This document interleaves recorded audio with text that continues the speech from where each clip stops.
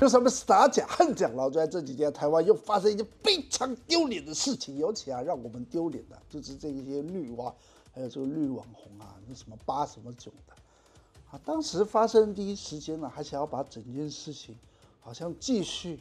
要怪给大陆，然后要让台湾人觉得好像现在去大陆很可怕哇，器官可能就没了，完完全全好像要去合理啊！哎，你看，哎呀，我们的绿营执政当局都已经为台湾人想好，所以才把大陆设为这个旅游橙色警示，然后要利用这个丢脸的事情，好像要证明大陆真的是很危险。结果各位，滑铁。今天尴尬的来了，就在这几天啊，台湾的新闻都在大量报道，也就是台湾男大生呐赴上海失联了，然后岛内的海基会啊去函给大陆啊协寻，当时啊哇新闻一报，非常多绿蛙都在那疯狂的洗，然后见猎欣喜的说，哎呀是不是器官配对成功啦？甚至啊有人就说啊祖国美人出来打球，也就是叫钟明轩呐。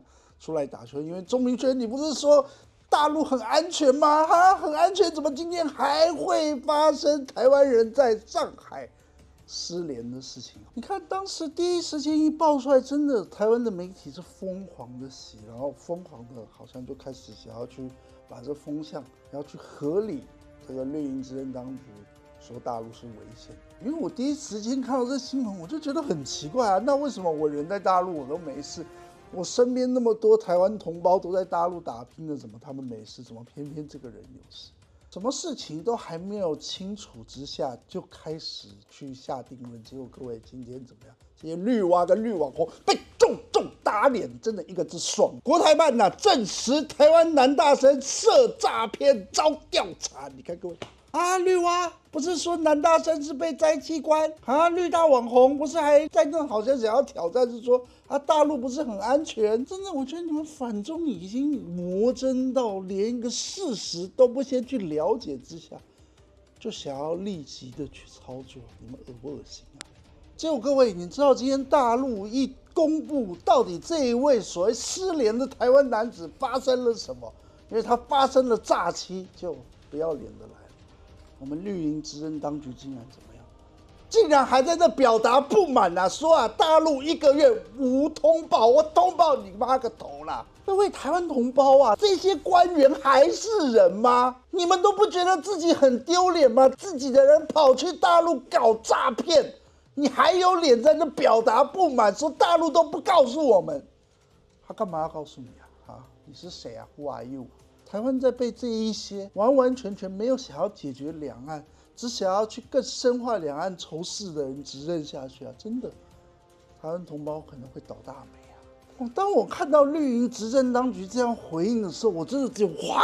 你今天不是闭上你的嘴巴，赶快找个洞钻，不是还在那表达不满？为什么你都不告诉我？搞得好像你今天是拳头非常大的，搞得今天好像你的实力是比大陆强。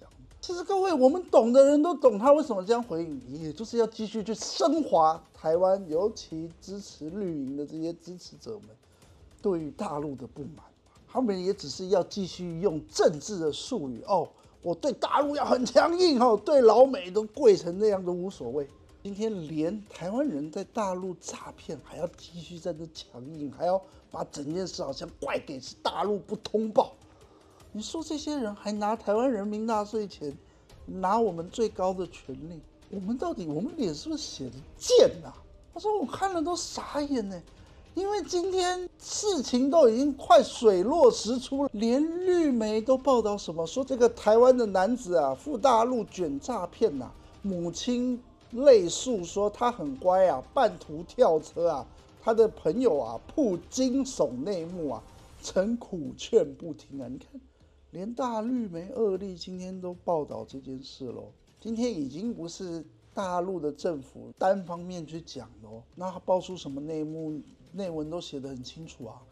他说啊，九月二十三，大陆国台办证实啊，郭南涉及诈骗案，目前调查中啊。这个陈姓同学还原呐整件事情的经过啊，当初啊，因为游艺场的老板介绍工作，他分享给郭南，但他发现有意，决定不前往。哦，由于陈楠与郭楠是大学同学，感情也很好啊，察觉这个工作很奇怪，曾劝阻郭楠要考虑清楚啊。疑似郭楠在经济压力下决定前往大陆，他要去赚这笔钱的时候，该劝的都劝了。你看，连大绿媒都已经有做这个新闻的报道了。那请问一下，那一些前几天还在那建立欣喜，好像觉得哈哈，终于可以证明去大陆是危险的这些绿蛙还有绿网红们，你们脸是不是被打爆了啊？而且还不止啊！来，这则新闻标题就直接写：二十二岁台南夫路失联，母亲哽咽啊，儿子啊被骗去赚钱呐，台湾人把台湾人卖出去。你看各位刚看来，今天害郭男的还是台湾人。所以你看嘛，这个是他妈妈讲的。郭南的母亲啊，表示已向警方报案人口贩卖，并呼吁啊台湾政府啊抓捕主嫌和集团呐。他提到知情人士啊有安排很多哦出去，并有人被收押进监，希望政府啊争取人回台啊。他还进一步表示啊，不希望儿子后面还有人因为这种方式而被抓出去。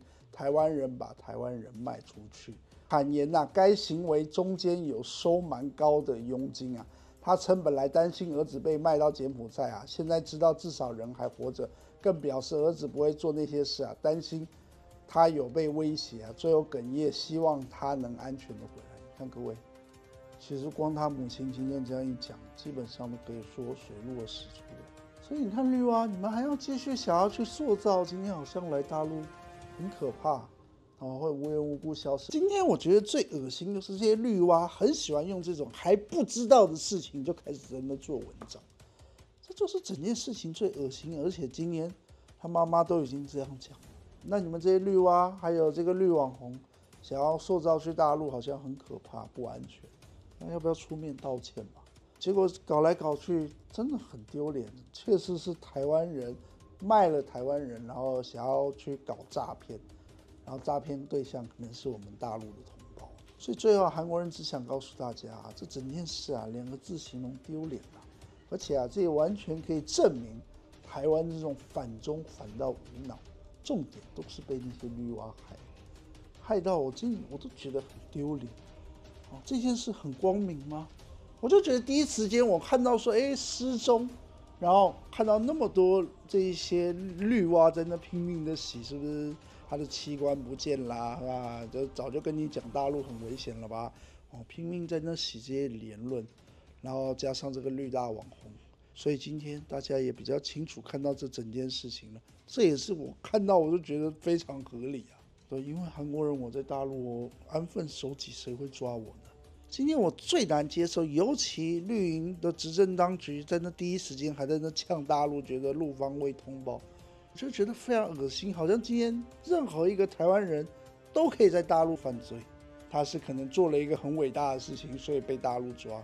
那台湾同胞啊，我们真的都是被这些人拖垮，被这些人所害，更多人还不清醒啊！真的，未来啊，我们的日子有多少啊，都很难说啊。